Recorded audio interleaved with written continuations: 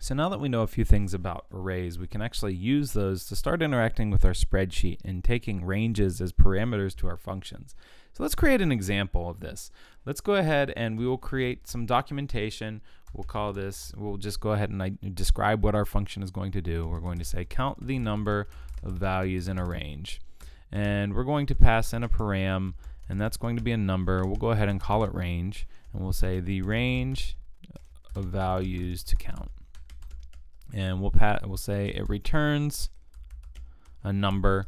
You can use return or returns for this this tag for this annotation. Either one will work. I think returns is the more common one, but to be honest, I'm not completely sure. Uh, the count of values in the range, and we'll mark it as a custom function. And then we'll create our function, function count values, and we'll pass in a range, and we'll very simply return range.length. And now if we go into our spreadsheet and we put a couple of values in, 3, 4, 5, we can just use count values, select a bunch of these, hit enter, and we get 5. So you can see this is going to pass in our range, and we can use that very much like an array here. Uh, if we create another function, we, we, get a little bit more complicated. So let's go ahead and create a function to add up to four things together. Uh, we'll go ahead and create some documentation for it first. So add up to four values together. Uh, we'll pass in a param, and that will be a number array range, the range of values to add, and we'll have it return a number, which is going to be the sum of up to four values in the range. Because we don't really know how to we don't want to type code forever and we'll see the complication here in just a moment. And we'll mark this as a custom function and then we'll call this function add 4 and we'll pass in a range. Now on its own this won't do anything. If we you know if we were to say add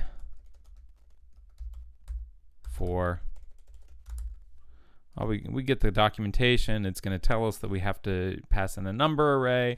It's going to give us the four values together, and it tells us what it does. And if we were to just close it, it wouldn't actually give us anything. So let's have that return a value. We'll say var sum is equal to 0, and at the bottom we'll return sum.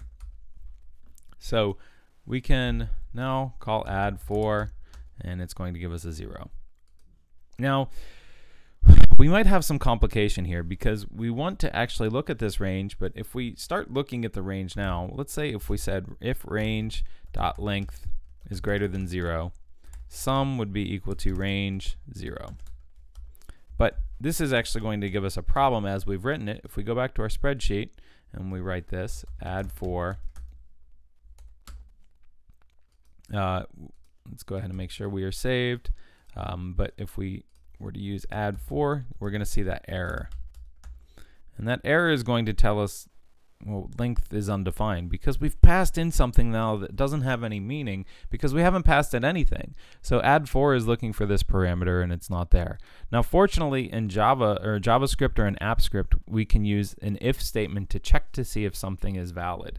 So if range well, basically means if the range is defined. If there's anything there, if there's something in range, then uh, in this range uh, parameter, then we'll run this code within our if statement. If nothing is there, we'll be okay. So now if we come back and we modify what we've done just to reset the, uh, the call to the script engine here, you can see here, now that's going to give us zero. It's going to be a safe call. So we can start off with if range dot length is greater than zero, sum is equal to range zero. Uh, if range dot length is greater than one, sum is equal to sum plus range one. And you can see this is going to get really tedious. If range dot length is greater than two, sum is equal to sum plus range two. If range dot length is greater than three, sum is equal to sum plus range 3. So that's going to actually introduce the concept of loops that we're going to get into in our next module. They're going to make your life much, much simpler and easier. So this add 4 function, it will add up to 4 values now, and it should work properly if we haven't made any typos. So if we add 4, if we pass in 3 values, it should add the first three values. Uh, and if we pass in all four, it should add, pass add all four of the values. But unfortunately, what we're seeing now is that it's actually concatenating those values together. So it's actually bringing our values in as strings. So instead of getting some range as zero, we're actually getting the string zero, the string one, the string two, the string three, which when we add those, it's not going to add them, it's going to concatenate them.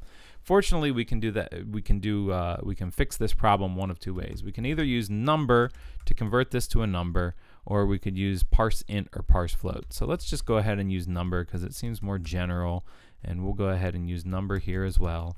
And what this will do is convert each one of our ranges now to a number instead of some object or, or uh, string.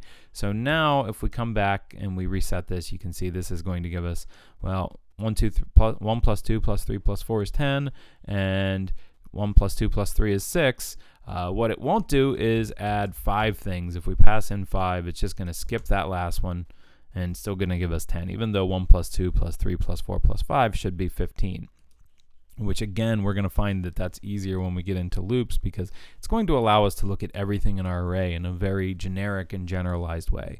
Uh, so we can use arrays with ranges. We can uh, get into the values and we can see how they work, um, but we're still somewhat limited. So the next module should help with that. But for now, thanks for watching.